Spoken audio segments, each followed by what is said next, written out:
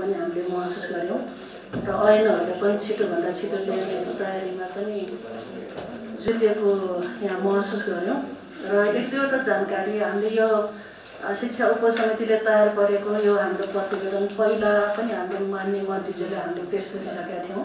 त्यो आधारमा शिक्षा नीति शिक्षा ऐन बन्ने बेला सहयोग होस् भनेर मान्य राज्यमन्त्री उमेश श्रेष्ठले यहाँ राख्नु पहिला पनि हामीले दिएका थियौँ। अहिले पनि हामी मन्त्रीज्यू नयाँ आएको कारणले हामीले जानकारीको लागि यो दिएका छौँ। दोस्रो कुरा यो बाल शिक्षकहरूको तलबको वृद्धिको विषयमा हामी बार बार मन्त्रालयले हामीले निर्देशन दिएका थियौँ तलब वृद्धि गर्ने भनेर। त्यति बेला एउटा घटना अब शिक्षकहरूको तलब बढ्छ हाम्रो बजेट भाषण हुने बेला। अनि सेन्दाकी कहाँको टिभी हेरेर त्यो हाम्रो तलब बढ्छ अनि बसिराखेको। अनि एउटा शिक्षकले तलब वृद्धि भएको एउटा शिक्षकको बाल शिक्षकको छ हजार मात्रै एकदम रोएर हैरान भएको थियो त्यहाँ। त्यो पनि हामीले सुनेका थियौँ। अनि हामीले कमसेकम न्यूनतम राज्यले निर्धारण गरेको ज्याला समेत दियोस् भनेर निर्देशन दिएका थियौँ। यो कार्यान्वयनतिर पनि मन्त्रालयले कार्यान्वयनको लागि विशेष ध्यान दिन चाहन्छौँ। अर्को यो शिक्षक दरबन्दीको विषयमा बार बार हामीले निर्देशन दिएका थियौँ। पहिला पनि।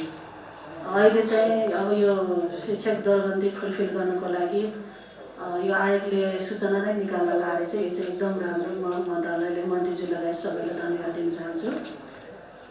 मैले लास्टमा के राख्न चाहन्छु भने यो विधेयकहरू यो ऐनहरू जुन लिने तयारीमा हुनुहुन्छ यो चाहिँ छिटोभन्दा छिटो तपाईँहरूले प्रतिबद्धता जारी गरे जस्तै ल्याउनको लागि अझै पनि म लास्टमा समितिको तर्फबाट विशेष ध्यान आकर्षण गर्न चाहन्छु।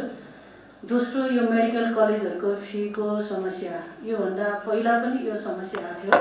सरकारले निर्धारण गरेको निर्धारण गरेको फीभन्दा धेरै फी मेडिकल कलेजहरूले लिए भनेर समस्या पैदा थियो।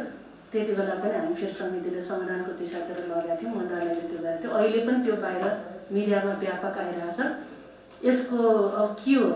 सत्य तथ्य बुझेर त्यसको हल गर्ने दिशातिर जाओस् भन्ने हामी समितिको तर्फबाट मन्त्रालयले निर्देशन दिन चाहन्छौँ। तेस्रो कुरा हामीले एसइईको विषयमा धेरै पटक हामी छलफल गऱ्यौँ कोभिडको बेलामा धेरै पटक छलफल गरेर यो एसइई अहिले त कोभिडको बेला हो अहिले झन् गर्नै हुन्न।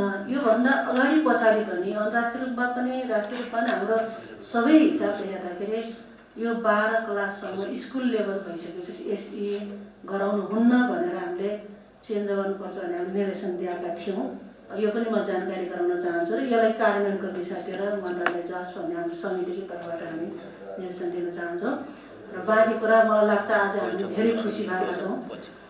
मन्त्रीज्यूले धेरै जिम्मेवारपूर्वक समस्याहरूलाई हल गर्ने ढङ्गले पहल कदमी भएको रहेछ र हाम्रो सचिवज्यू लगायत सबै लागिराख्नु भएको छ मन्त्रालयको टिम यसको लागि म धेरै खुसी भएको छु र हाम्रो समितिको तर्फबाट धेरै धेरै धन्यवाद दिन चाहन्छु।